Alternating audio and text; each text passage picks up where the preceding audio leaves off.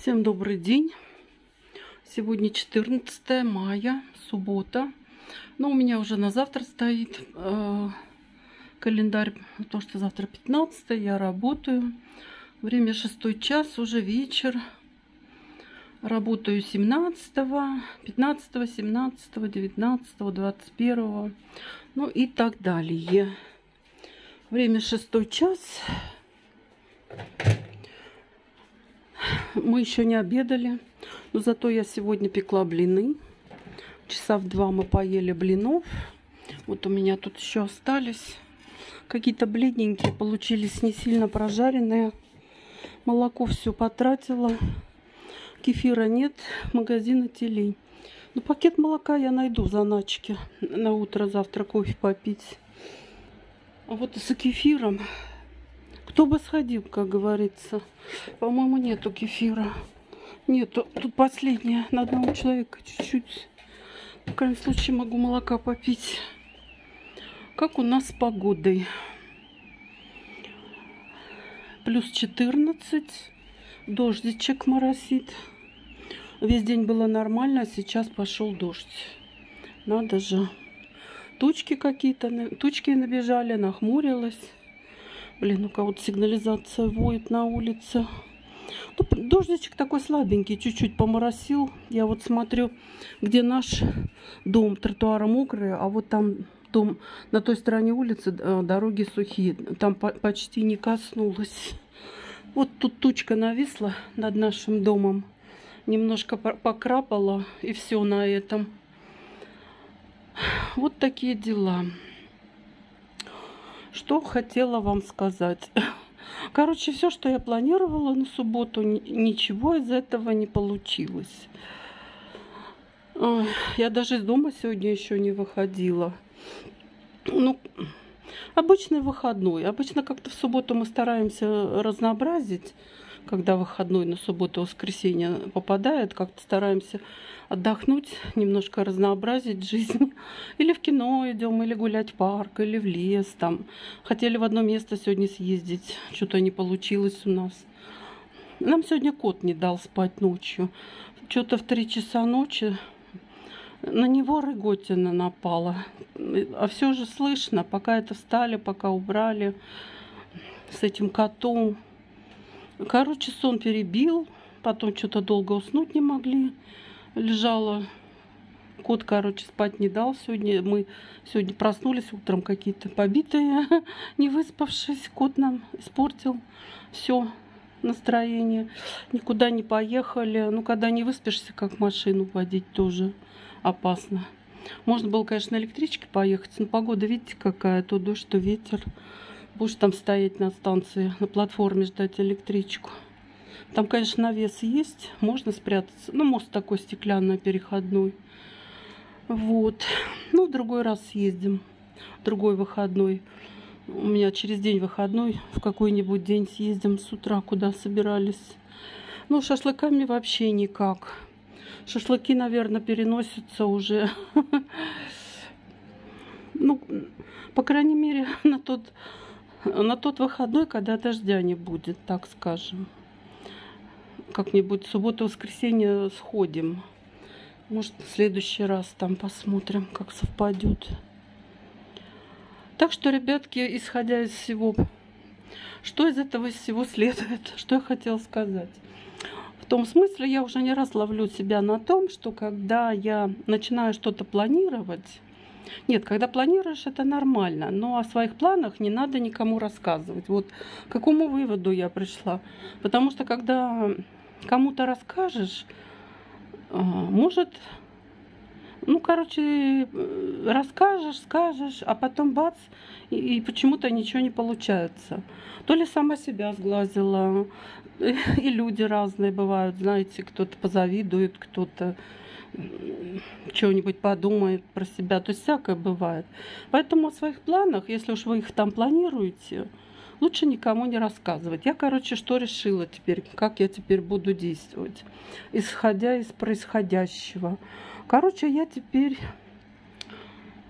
сначала что-то, если запланирую, Короче, буду рассказывать потом, когда уже все произойдет, когда я уже что-то сделаю, куда-то съезжу. Зачем рассказывать о своих планах? Вот когда я что-то сделаю, когда все произойдет, тогда уже можно рассказывать.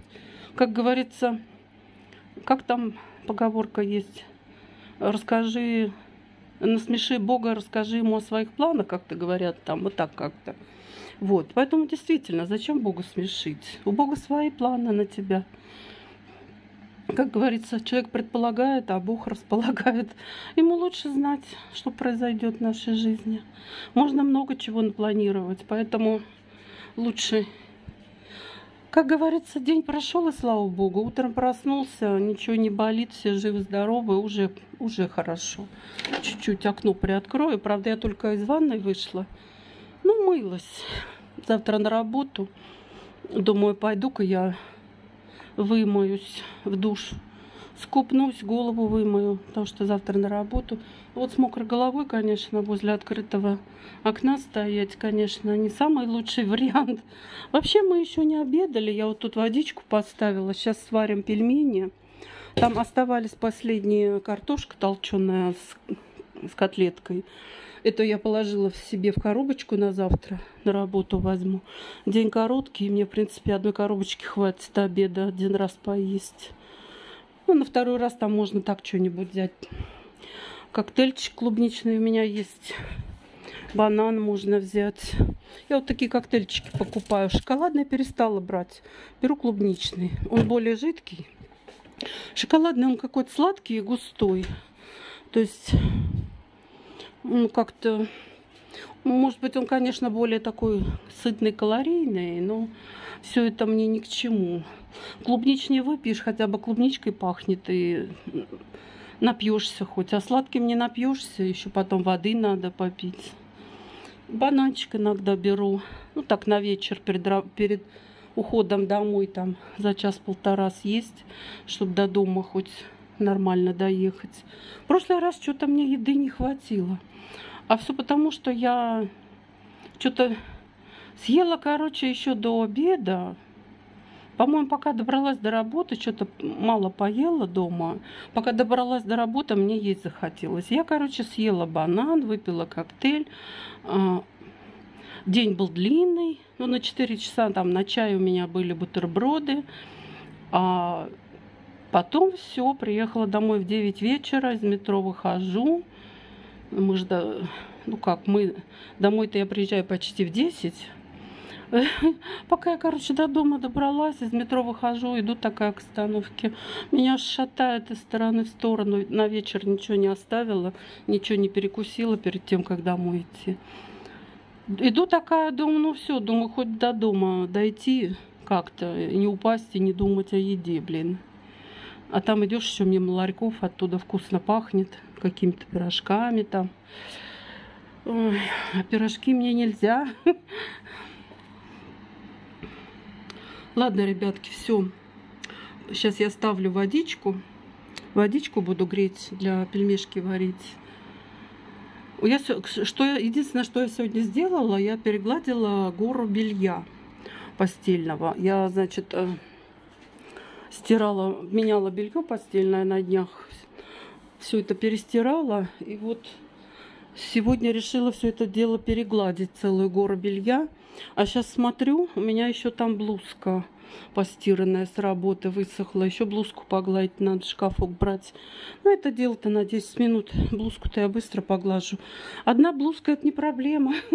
Я за полтора часа целый двухспальный комплект глажу. Там два поддеяльника, четыре наволочки. Я наволочки двойные надеваю. Мне так больше нравится на подушке. Не по одной наволочке, а двойные. Ну, не знаю, почему привыкла так. По крайней мере, они там есть. Подушки разные у нас по размеру. А там две подушки 70 э, на 70 и две наволочки, то есть 70 на 70, и две наволочки 50 э, на 70. То есть подушки разные, наволочки разные. Я сразу по две надеваю. Хотя, в принципе, можно было по одной, а потом дня через три поменять. То есть на, постоянно спать на свеженькой как-то приятнее. Я вот смотрю, чем люди занимаются. Стреляют из ружья помпового на территории гаражей. А вот так, если выйдет кто-то из гаража неожиданно, ребенок выбежит. Вдруг какой-то мужик там ремонтирует машину, копается в гараже, выйдет неожиданно из гаража воздухом подышать, или ребенок выбежит. Стоят, стреляют, пуляют прямо на территории гаража. А с другой стороны, вот так, если в лесу, то может быть еще хуже. В лесу тоже люди гуляют, с собаками гуляют. Это надо выезжать куда-то далеко, в лес, в поле.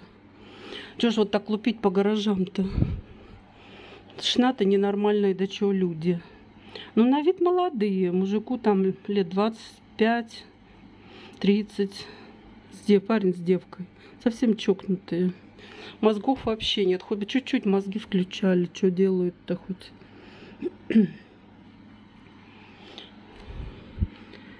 Нашли, где стрелять, блин, в гаражах, где люди ходят.